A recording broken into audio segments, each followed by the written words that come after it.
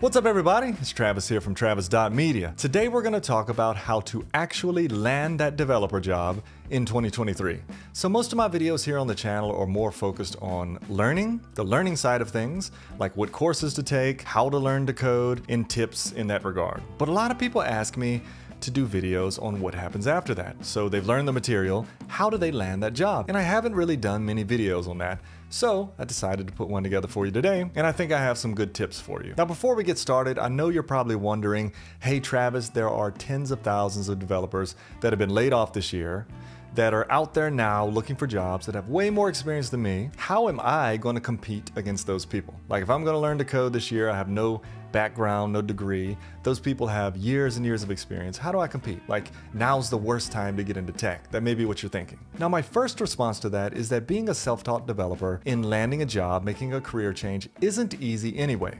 So, whether there are thousands of people open for work or the economy's booming, it's still not easy. You still need to put in the work, you still need to have solid goals, and you still need to kind of get out of your comfort zone to get there. That's the first thing I want to say. The second thing I want to say, there's a lot of people that are like, has this tech bubble burst? Has this surge in tech demand now started to die down?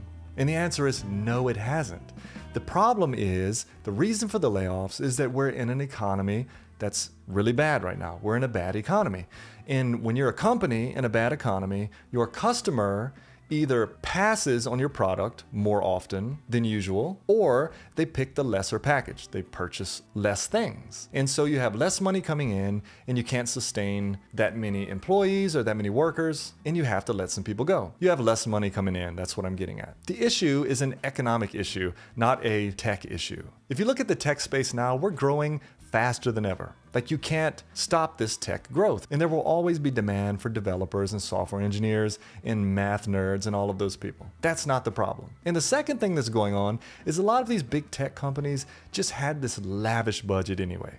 They had free food for all their employees. They have slides and adult gyms and all of these special rooms and all of these perks just blowing money because the economy has been great. Now that the economy's bad, it's catching up with them. But here's my take on what to do. So think about it. The economy can't stay bad forever. It's going to get better. So Google just laid off 12,000 people. Let's take that as an example. They laid off 12,000 people. When the economy gets better, things start picking up, people start purchasing more product, and the upside happens again, they're going to need those 12,000 people back. They're probably going to need 20,000 people. And all of these other jobs are going to need thousands of people back. So this could be a good moment of opportunity for you to learn to code. Maybe companies aren't hiring as much, though I still see lots of listings on LinkedIn and I know lots of companies still hiring. They're just not FANG companies. And who wants to work at a FANG company anyway? But what I'm getting at is you could take this downturn in the economy as a time to get really good at your craft. So when things do pick back up, you can be the first to nail that coding exam and land the job. You can get the job before that. I'm just saying this may be a good opportunity for that. All right, so I've totally gone down this rabbit trail I didn't mean to go down. Let's get back to what we were talking about. So, how can you actually land the job, the developer job, in 2023? Well, the concepts, the steps are the same. They're always the same. And we're gonna go ahead and start with number one, which is learn the content. And you're probably like, duh, Travis, I know that. But let me talk about that for a minute. So I recently published a video, it's actually the last video that I did. It's a list of Udemy courses that I think all developers should own. And I got a lot of comments of people saying, I can't believe you would pay for this. There's all of this free stuff on the web. This guy teaches all of this stuff for free. Why would you pay for a Udemy course? Nobody should pay for a Udemy course. And I feel like when people say that, they miss the point. Because here's the truth. If you take a free course, you go on free code camp and you learn JavaScript, or if you go to Udemy, you spend 15 bucks and you learn JavaScript. Or if you enroll in a boot camp, you pay 15,000 and you learn JavaScript. All three paths are going to lead to the same bucket. You're all going to land in this bucket and you're all going to know the same JavaScript.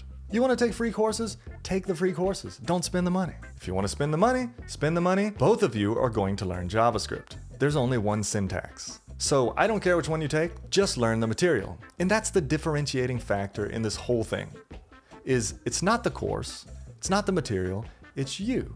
Are you going to put in the work to learn the content?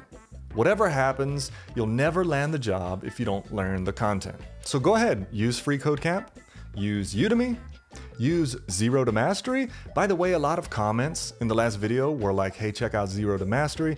I did check it out. I like it a lot, and I'll probably do a video on it soon.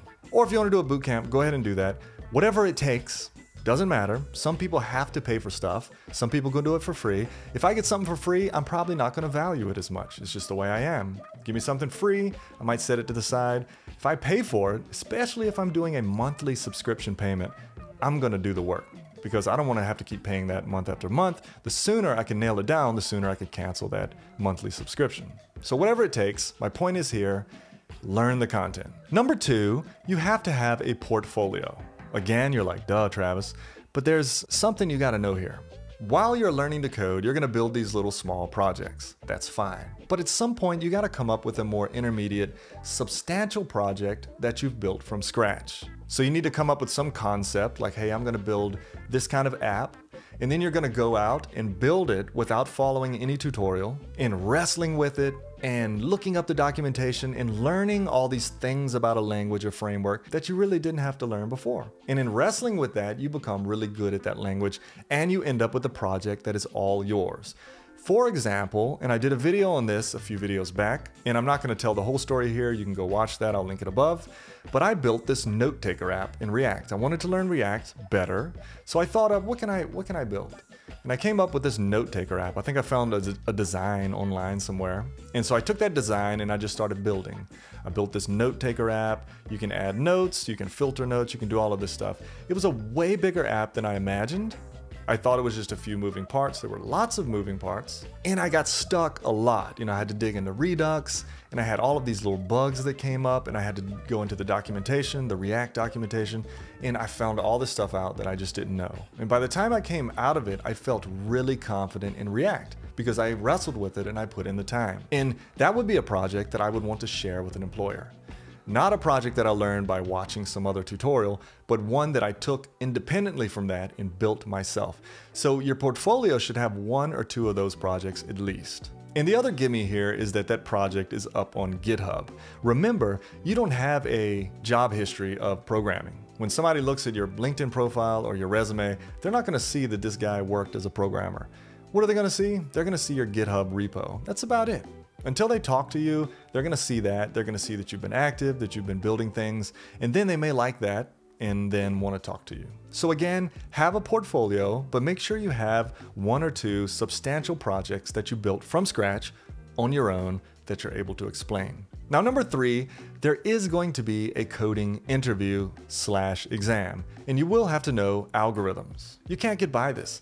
I'm not good at it. I hate coding exams when I have to sit there in front of somebody and code. And the only way you can really do good is if you prep for it. So get some kind of algorithm course, get some kind of course that teaches you how to pass the coding interview, how to do well at the coding interview. If you're going in like C Sharp, make sure you know C Sharp good. Make sure you've done a lot of algorithms in C Sharp.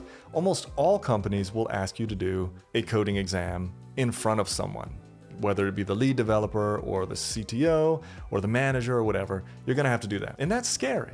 A lot of people landing the job, they think ahead to this and they say, I can never do that. I'm not even gonna go down this path. You'll be fine once you learn the content and you want that job bad enough. If you prep for it, you do some coding interview courses, you do your homework, you practice, you'll be ready for it. You'll still be nervous. You'll never get over that, but you'll be better at it if you prepare. So you've learned the content, you got a good portfolio, and you're ready for that coding interview and exam. Number four, and the final thing I want to talk about is the job search itself. Now, the job search, it's a numbers game. It's how many resumes you can send out in hopes that somebody is going to call you in for an interview. That's the whole goal. The goal is to have someone say, hey, let's talk to him. You're going to have lots and lots of people that won't even give you the time of day because you don't have that background. And if you do have a computer science degree, you're like right out of college, you'll probably have an easier time. But if you're self-taught, you don't have that background to prove. So it's going to be, again, a numbers game. So here's what you want to do. You want to go to LinkedIn. And I know a lot of people like don't like LinkedIn. LinkedIn is the best. It's the best. It's basically your resume out there in the public being crawled over by tons of recruiters. It's really an amazing place. So create a good profile, have a professional picture, have all of your skills listed in your description. You got your past jobs, you might have some certifications, you might have some assessments that you've passed on LinkedIn to show, and you may have people that endorse your skills also. But have a good, solid LinkedIn profile. And most importantly, make sure you're open to recruiters. Like you, I forgot what setting it is, I'll put it on the screen here. But you can open yourself up to recruiters like, hey, I'm looking for work and I'm looking in these categories, these languages or technologies. And when you do that, recruiters can find you. Now, there's a lot of people that hate recruiters. We have a love hate relationship with recruiters. I don't see the big problem. There are people looking for you they want to connect you to an employer so that if you get the job, they get a big bonus. Like they have a big incentive to get you in that interview seat. Your main goal is to get in the interview seat. So I don't see the big problem. I love recruiters. And if you set yourself open to work, recruiters can search by location, they can search by skill level, they can search by school you went to, and they're just as desperate as you to find people. They're desperate to find you, that's the truth, because they get big bonuses when you get the job. So you've learned the content, you've prepped for this interview, you're ready.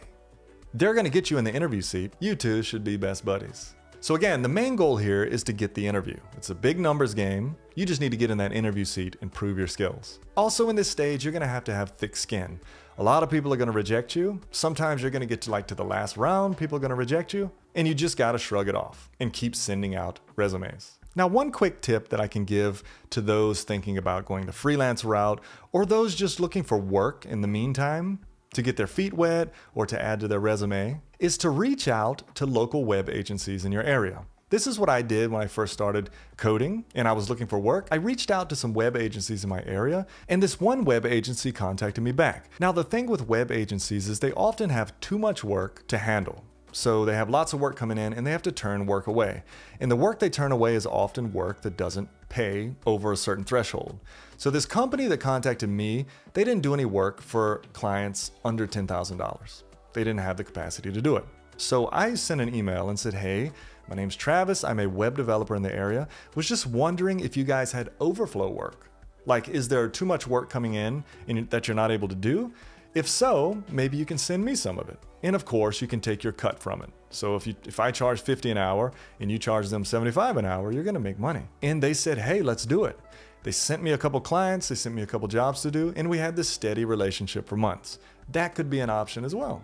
Find web agencies that can benefit from you taking their overflow work. And that's the job search. That's really the four steps today. Number one, learn the content. Number two, have a solid portfolio with some original items in it. Number three, prep for that coding interview, practice your algorithms. And then number four, the job search. It's a numbers game. Apply to lots of jobs with the goal being to get into that interview seat because you're ready technically to do it. And that's all I have today.